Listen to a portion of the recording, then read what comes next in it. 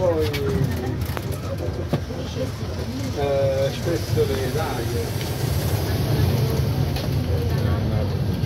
eh. No, io veramente non l'ho mai comprato. Io veramente ultimamente comprai